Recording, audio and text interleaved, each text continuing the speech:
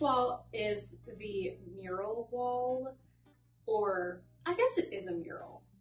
I want to paint the wavy lines from my branding onto this wall. I'm very nervous about it.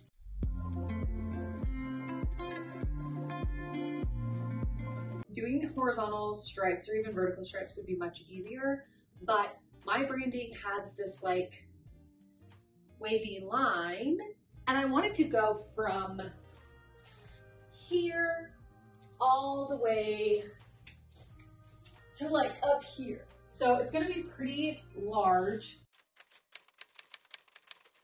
To buy my paint, I headed straight to Lowe's, which is my favorite hardware store, and I went right, of course, to the paint swatch section.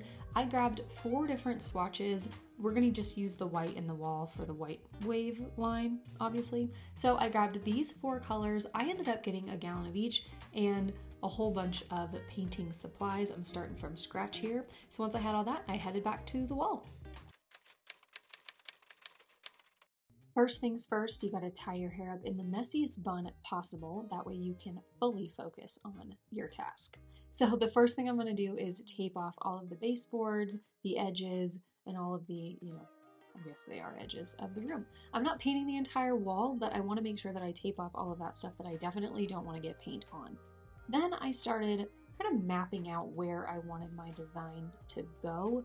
Now you'll find that I definitely used a lot of paint here very unnecessarily, but I initially thought that I was going to just like tape it off and create a stencil, and that is not what happened. It's very rustic. This is like 40, 42. If I make it about, about 8 inches, so at this stage, I'm still in stencil brain mode, so I'm trying to measure out how thick I want each of these wavy lines to be. Now, in hindsight, I would have done a few things differently. I definitely would have used probably a projector to just project the image onto my wall and then painted it that way, but I just wasn't thinking that way. I was thinking like, I'm gonna make a stencil and paint this and it's gonna be perfect. No, no. So that's stripe number one.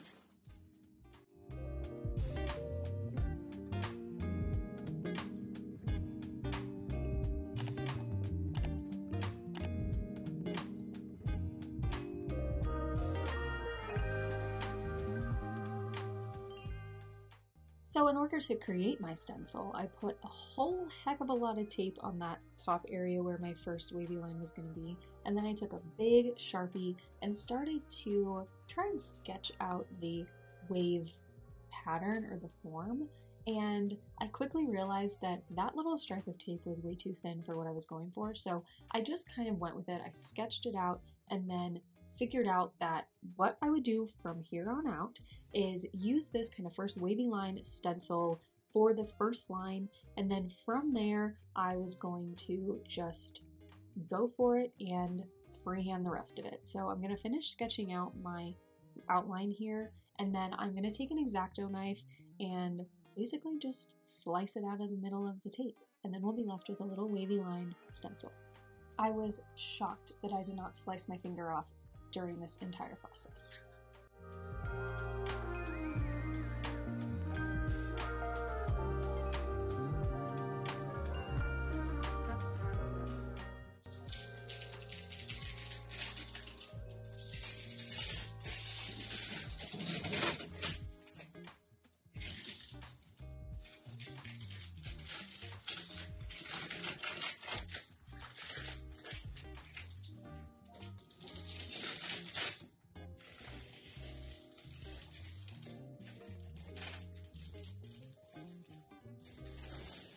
Once I had removed all of that tape from the middle of my stencil, it was finally time to paint. Very good. Cheers, Don't- friend. Don't drop it. Yep, let's go, baby.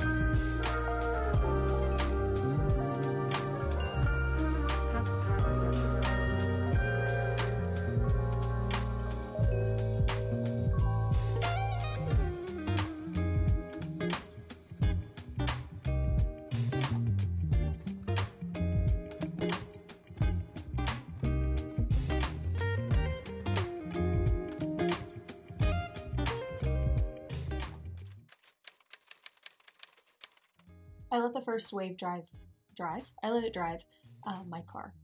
I let it dry for about an hour and then I went in and removed all of that painter's tape. If you're not having a dance party while you're painting a wall, I don't know what you're doing, but you're doing it wrong.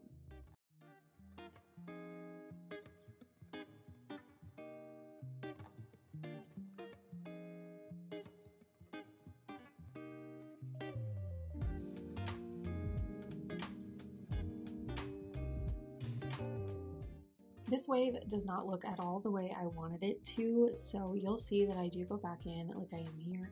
And gradually, as I added more and more wavy lines, I made each of the lines thicker. So here I'm going in and kind of just cleaning up the line edges, filling in any spots where my paint might have been a little bit patchy, and really trying to round out any like shakiness that might have been in my cutting because I cut this out with a tiny little craft knife and I don't have the steadiest hand. So I'm just gonna go in and clean up these lines, but I will go back in later and thicken this up even more. So me doing all of this work on this top line ends up not really mattering that much because I did go in and do it again.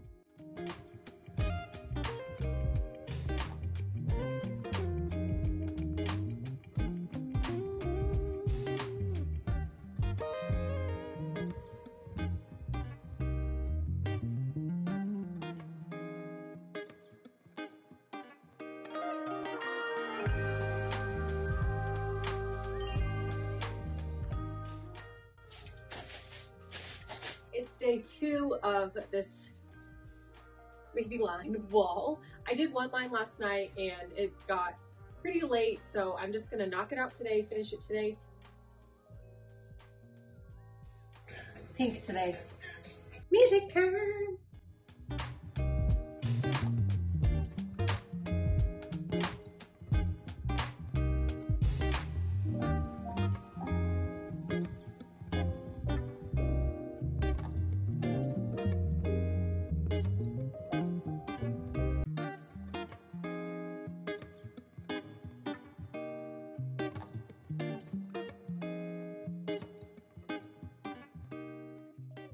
I will tell you, freehanding this wavy line was so much easier. I mean, working off of this top line made it a little bit easier, but freehanding that bottom part was like, why did I even waste all my time with that tape in the first place? And it is so satisfying to just paint one nice line matching up this was very therapeutic for me. It was very relaxing. Most of the time, if I'm like painting a full wall or something, I get really stressed out and I just try to get it done as quickly as possible. But with this process, I was kind of just like enjoying playing music, painting. It was very much a vibe. So I'm gonna finish up, finish? I'm gonna finish up this dark pink wall and you can see I'm waving the lines up to the ceiling and that's because I didn't want to have to deal too too much with the door being in the way, but I also didn't want to stop the design like right at the door. So I let that pink dark pink wavy line dry for about an hour and then I came back and I did the pink the light pink line and you can see I made that one much thicker and that's what really sealed the deal for me on making all of the stripes just a little bit thicker. I feel like it looks so much better with thicker stripes versus thin. So finally, I'm going in with my lightest blue. This is the lighter teal of the two colors, obviously. And I'm just going to follow the wavy line that I've already created.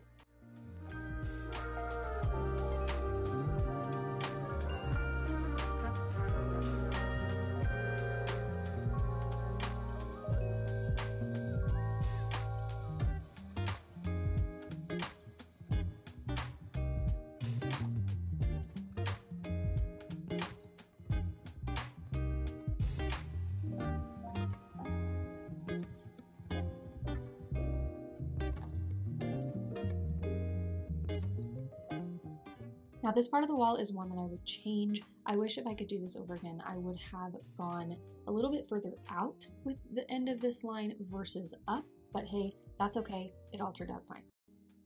Once I was done with this part, I did let it dry for a couple hours, then went in, thickened up all of my lines like I said, and then let that dry, removed all of my tape, and finally, we are all done. So this whole process took me just a couple days. I'm so, so, so, so, so happy with it and I cannot wait to show you the rest of my studio space. So be sure to subscribe so you don't miss any of those future videos. See you in the next one. Bye!